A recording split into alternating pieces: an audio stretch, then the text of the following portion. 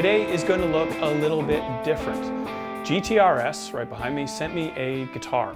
It's a guitar with a price point around six or seven hundred dollars, so we aren't looking at a $3,000, $6,000 monster machine here.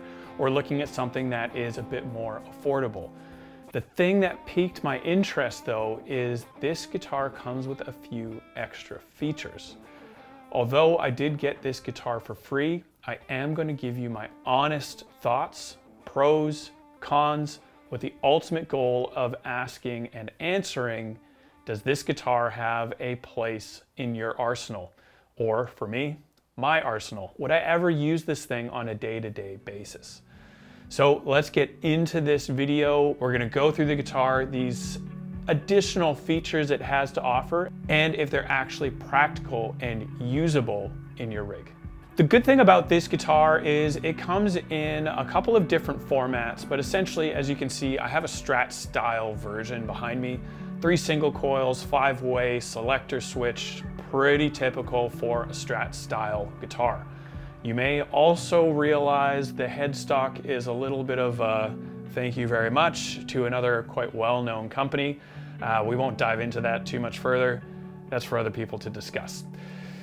The guitar can be used as any standard passive output guitar. You don't have to use the active built-in section on the guitar. You can plug straight into your pedals, straight into your amp, away you go. If you want to get into some of these additional features though, you can actually turn on built-in amp and cab sim and preset effects. It actually was something I was quite skeptical about at first, thinking it was a little gimmicky, if I'm gonna be totally honest. But as I got to use it, I could see a place for this guitar in a session or touring muso's rig when they're on the road and they just need to grab and go in their hotel room and play with something simple and straightforward. It has an app that comes along with it which comes with drums, tuner, you can manipulate the presets, I will say though very minimally, and you can actually program four presets into the guitar itself. So you can use it active with headphones plugged into the guitar, effects, amp and cab sim, tuner, all that, or you can just plug in as normal into your pedal board.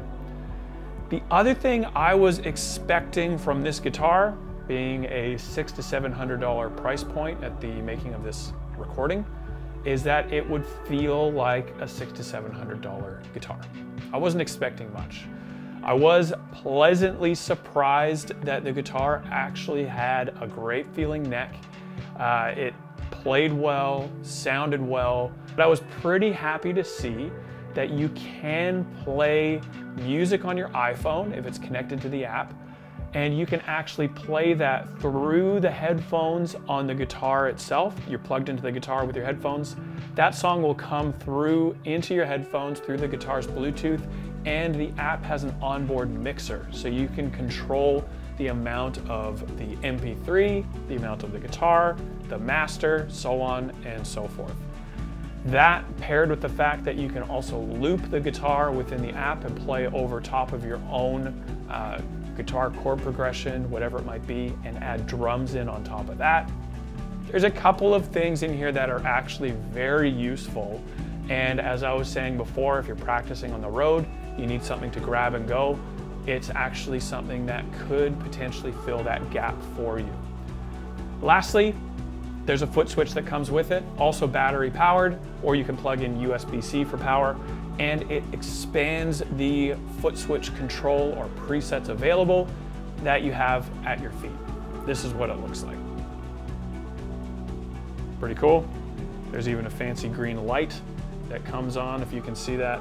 So this allows you to access up to 40 presets. You can do the looper, you can do a whole bunch of things, connects via Bluetooth to the guitar, gives you a bit more control. Pretty handy feature. I didn't really want to use it all that much. Since I had my phone in front of me, I could control all the presets on my phone directly in front of me. But if you wanted to get into more ease of use while playing a little bit more seamlessly, you could add the foot switch. Now on to pros and cons, the juicy bit. Let's start with some of the pros first. We'll start positive. The guitar surprisingly feels really good for its price point. It sounds great, the pickups are great, and I'm actually pretty happy with it as a guitar into an amp. Love the fact that the app comes with some additional features that are usually going to require another piece of gear, such as looping the guitar, adding drums, being able to play your favorite MP3s right off of your phone and they come directly into your headphones from the guitar. Those are all surprisingly helpful and I actually really enjoyed them a lot more than I thought I would and it was a lot easier to access than I thought it would through the app, of course. The guitar has some built-in presets, so if you can find your favorites, you can easily access them very quickly. You don't need any additional gear to play guitar other than the guitar itself. It comes with amp and cab sim, comes with presets, comes with all the basic controls, especially if you have your phone connected with the app. So there are actually quite a few pros to this guitar. Again, admittedly, I got this thing for free, but I want you guys to get an honest review and my honest thoughts. Overall, I was pleasantly surprised by all of those things and it exceeded my expectations. Who's to say where my expectations were before it arrived, but I actually really enjoyed playing the guitar as an instrument and I think it has some great value to add. On to the cons. The tuning was the first thing that I noticed and I didn't really like uh, in terms of the guitar would go out of tune quite easily. So the first thing I would do, simple fix, bring it to a tech, let them know there's tuning issues, please fix it, and they'll take care of it for you. Tuning issue solved. So that's an easy fix and it's not inherently horrible and you can get past that quite quickly. The other con to this uh, guitar was actually the presets. I was really looking forward to being able to dial in delay, maybe delay type, reverb, tremolo, all those different things individually. But in the app, you have preset one all the way up to the equivalent of preset 40. Tons of different presets. But you only get the most basic control, essentially level, and that is about all you can do as far as manipulating those presets. You can move them around, so you can change what is in slot one, what is in slot two, the first four slots being the ones saved on the guitar that you can instantly access on the guitar itself. So the presets were a little bit of a disappointment in that sense. There were some that still sounded quite good, but being someone that is really into effects and pedals, I wanted to control them like I would my effects and pedals. Who's to say that doesn't come up on a software update in the future, but as of the recording of this video, that is not an option. The other cons with this, let me think. Those were the main ones, to be honest. Preset control and the tuning.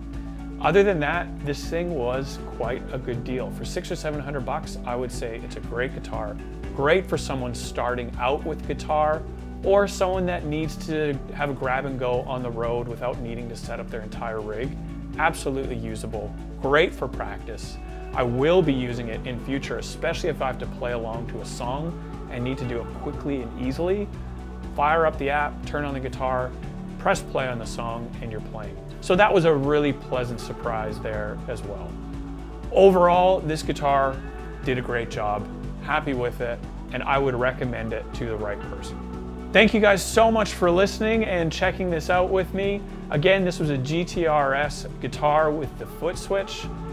You have my pros and cons list. You have my thoughts. Thank you guys for checking it out. We'll see you next week for another video on the Goodwood Audio YouTube channel.